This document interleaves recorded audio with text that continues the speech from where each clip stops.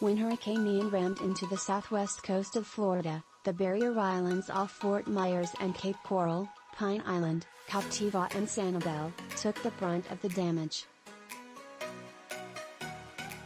The 155 miles per hour winds peeled roofs off homes and snapped telephone poles in half.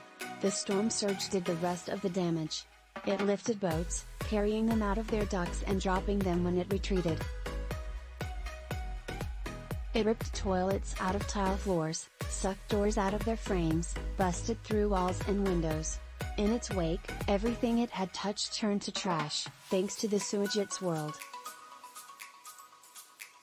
Hurricane Ian vs Hurricane Charley, Ian potentially catastrophic for Florida, forecasters say Hurricane Ian aftermath, historic fishing village Matlacha before, after images in the wake of the Category 4 storm, with the bridge to Matlacha and Pine Island out, rumors abounded about the state of Pine.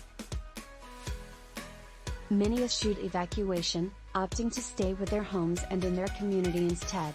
While the hurricane itself did terrible damage to structures on the island, the outpouring of support from neighbors on the island has been heartwarming.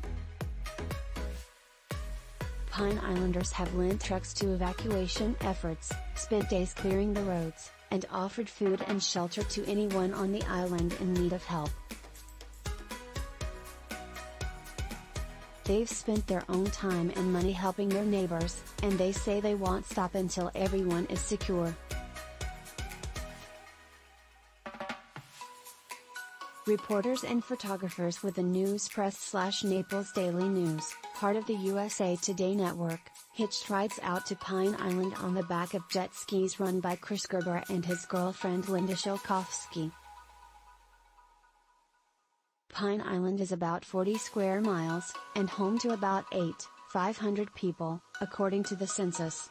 About half of those residents are age 65 and older, many don't have cars, preferring instead to travel by golf cart. The potential for loss to the island was high. The ride out was bumpy. Gerber wasn't sure what he'd find on Pine Island, although he'd been there before. He was hoping to bring water to people who needed it and offer rides back on his jet skis to anyone else who might want to return to the mainland, where power is slowly coming back on and water is running, albeit with a boil notice. He pointed out damage along the way, a missing roof, a collapsed seawall, a sailboat called Journey with the words not abandoned graffitied in black spray paint on the side. A favorite watering hole, Bert's, is gone as well, and Island Pho, a Vietnamese soup spot that Gerber loved, is in sorry shape. The road just before the bridge to Pine Island has washed out. There's nothing but sewage and particle-filled water there now. That, and a makeshift bridge someone had cleverly constructed out of a ladder and plywood.